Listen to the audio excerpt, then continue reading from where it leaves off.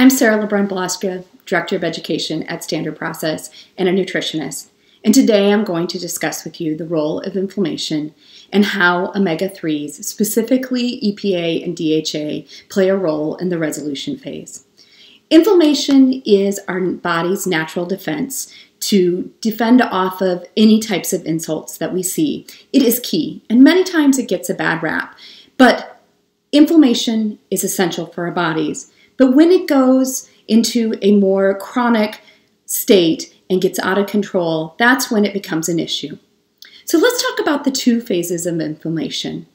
Inflammation has two key phases initiation and more recently discovered the resolution phase um, about 20 years ago with lots of great science behind this. And we'll talk more about that. The initiation phase is when neutrophils, white blood cells, respond to a specific insult. And this is a critical role to help remove that insult.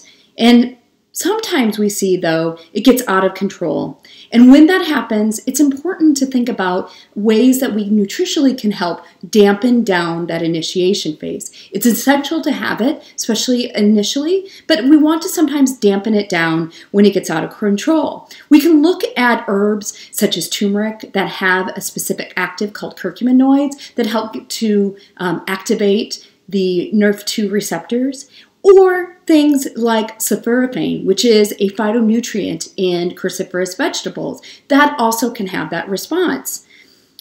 That helps to regulate and dampen down that action of the initiation phase when the insult becomes out of control. But when we think about compounds from EPA and DHA, that supports the resolution phase, which means that it brings it back to homeostasis. There are specific down-regulated metabolites from EPA and DHA to support the resolution phase. These are called resolvins, protectins, and maresins, which help, again, bring our body back to homeostasis by recruiting macrophages and doing that cleanup so that it doesn't go out of control. So where do we get EPA and DHA to support the resolution phase? EPA and DHA mostly comes from fatty fish such as sardines, anchovies, mackerels, calamari, salmon, and tuna. As omegas from plants are called ALA, they are another type of omega 3, but they can poorly convert to EPA and barely convert, convert to DHA. And so it is important for us to consume these fatty fish or algae to get those. Specifically, fish have better outcomes. So, according to the government's national survey called NHANES, analysis demonstrated that a large percentage of U.S. adult population are not meeting the recommended amounts of omega 3s daily, and pregnant women, even more so, are not getting that level. So, what are those levels that you should be getting every day? According to the dietary intakes, DRIs, the development that which were developed by the Food and Nutrition Board of the Institute of Medicine, now which is called the National Academies of Medicine, Look at adults, so males 19 to 50 need about 1.6 grams, and females need about 1.1 gram, according to those individuals. When you're pregnant, you need more, 1.4 grams for a female. And then children range from birth to age 13, birth at about 0.5 grams daily for both um, boys and girls. And then we see until eight years old, they need about 0.9 grams. And then as it increases, we see a little bit of differentiation between boys and girls, more to the number of adults.